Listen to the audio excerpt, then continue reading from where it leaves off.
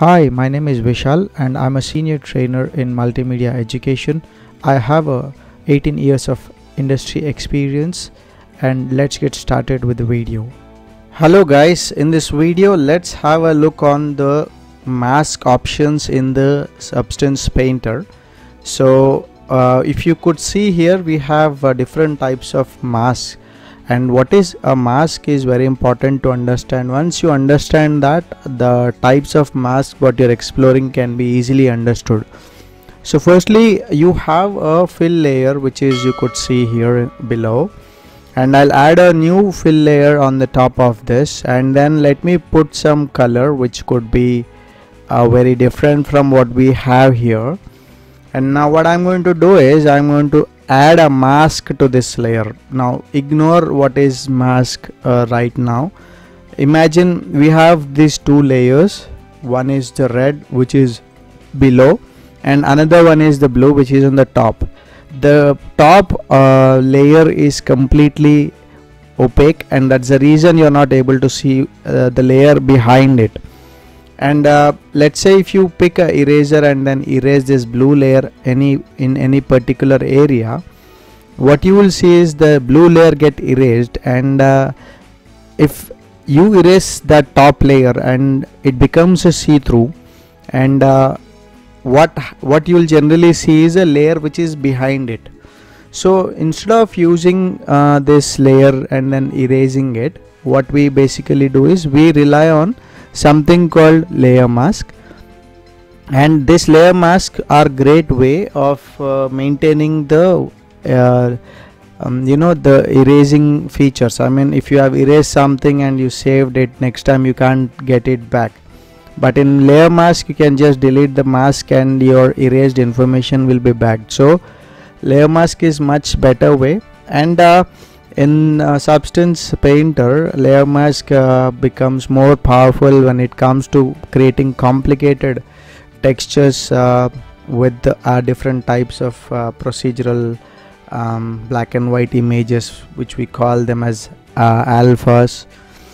So what I'm going to do here is we have this fill layer sitting on the top and I have a white and black mask here so both are basically same but the uh, sole difference is um, okay let me start with uh, painting a white mask. So white mask I've added but you don't see any uh, great result here. But if I can generally hold alt and click on this layer mask what you're seeing is the total uh, object in the viewport became white now let me pick the paint brush and then just go down here and then uh, choose uh, a color here. And uh, you you only have black and white. And uh, this is not basically color. This is the value of the opacity. So let's say if I paint something here. So I'm using a black color and I'm painting black here. So this part became white and this part became black and uh, let me bring this back to material okay? And then what you will see here is uh, the area which I have painted black has become transparent in the blue material. And the layer which is below it has got uh, and you are able to see that layer actually okay? So you can paint the way you wanted here. And uh, if you could see um, 2d and 3d layers together and then bring back your mask and you should able to see whatever I'm painting. Now the white area is being opaque and black area is being transparent. Can I take any value which is half the way? Absolutely you can take them. And this gives the value based on let's say the gray value is 0.3 so it keeps that 30% opaque. Okay let me bring it back to the material and you should able to see instead of getting some red color you're getting something more uh, a blend of blue and red because this is uh, semi transparent uh, the, the blue layer is not completely erased only 70% of that is erased and rest of them is seen with a blend of blue and that's the reason you're getting a different color here okay? So it's it's like 70% uh, uh, red and 30% blue is visible in that area where I'm painting the gray value of this. So if I do this you get more blue tint on top of it. So it's you're not painting different colors but you are erasing that layer at different uh, percentage values okay? So uh, now if I generally uh, see this uh, fill layer when I have I'll just remove this uh, layer mask okay? Now I'll add a black mask okay? Now the difference is if I add a black mask the initial fill is black and I told you the black is completely transparent and uh, the blue layer is completely gone now your gray value is white by default and when I paint it the area okay let me choose the mask again. Okay the area which is white has become opaque and the area which is black has become transparent okay? And uh, you are able to see that blue uh, part is uh, getting visible okay? Now a black mask is by defaultly making the total layer into transparent and white is keeping that layer to completely opaque. That's the only difference. Now this particular layer is basically uh, can have a sub layers and we can create a stack of such layers there. So if I go here so we have fill we have paint and all that etc so I'll just take a fill okay?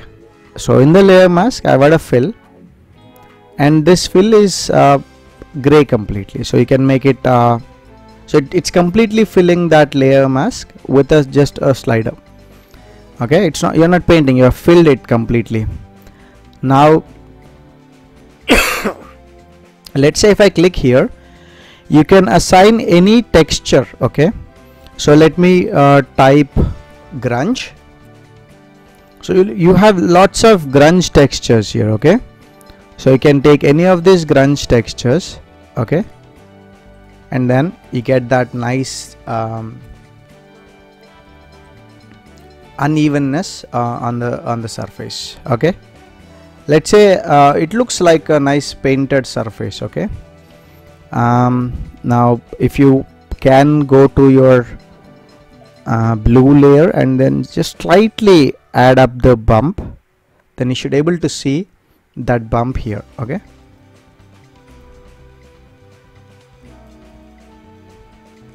So uh, it's like uh, you know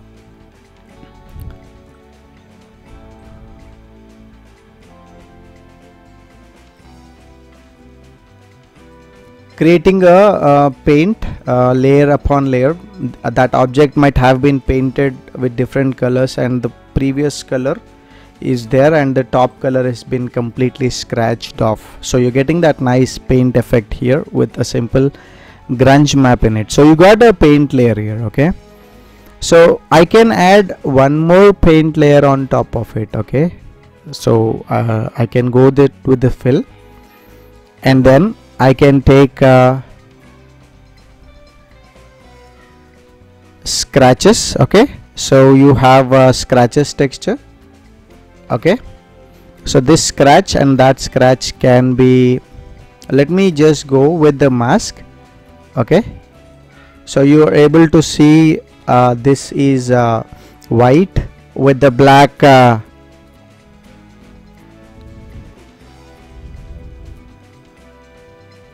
so you have this uh, grunge map which is white and then you have that black color here. So when I put this on the top you're getting this uh, what you can do is you can invert that and then you can multiply it. So what happened is the previous texture is now added with the scratches also which is sitting on top of it. Okay? So you can go back to that material and you can see that's the scratch layer on the top. Okay? So uh, you can add all that additional layers like uh, you have this um, paint layer and uh, you have uh, the paint brush so go to the alpha. Okay. You have lots of uh, alpha brushes here. So you can select them. Okay.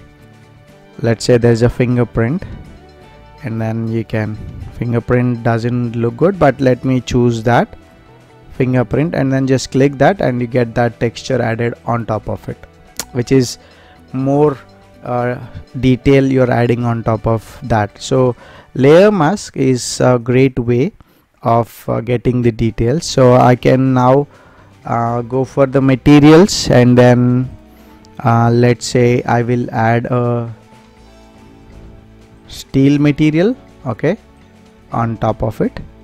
You should able to see this steel. Now again I can put a mask. Now as you could see this layer mask can be added with anything. We have something called generator. And then we just choose this uh, metal edges okay. Then you should able to see that nice uh, um, edges on the side here okay. So what is that looking like this is uh, what that metal edge uh, generator is doing. So you can add uh, the contrast or the uh, level. You have a different uh, set of settings here which is not very much related to the mask but generally yeah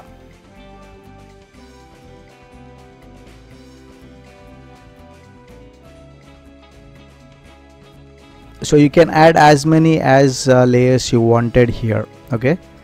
Now let's try to add something else. So uh, I will add a base layer again on top of it okay? So I'll just uh, take a fill. I have this uh, logo uh, with me which is uh, black and white. I'm just dropping it into the alpha section and then uh, using this alpha uh, as alpha and then I'm going to import into the current session. So you get this alpha here. So uh, let's go and create a new layer. It's a fill layer. And then I will choose the height. Okay um, as normal. So it, it's a normal uh, layer and uh, the height can be slightly higher there. And then uh, I will choose the color to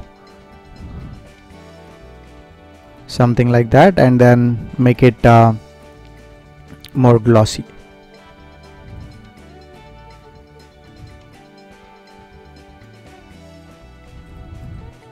So uh, we have this.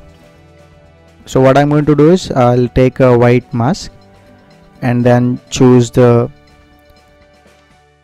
fill. And in the fill we will drop this texture here okay? So select that texture and then scale it down. You can choose 2d and 3d option. And then you can place that texture to fit into this area okay? But you don't want this to be visible on this sides then you can go to the uh, UV wrap and then say none. Make sure that you have selected the fill and then you'll get it here. Put it to none and you get that texture here. So we don't have uh, I mean I, I just wanted only this to happen in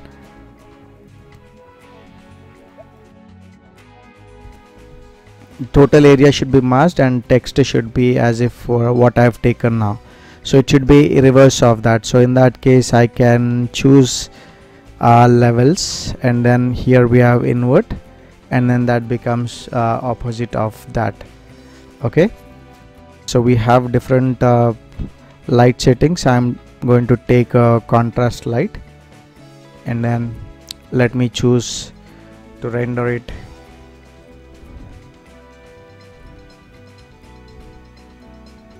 and you get this uh, nice result here okay? So this all information what we have got is because of the alpha um, and the masking techniques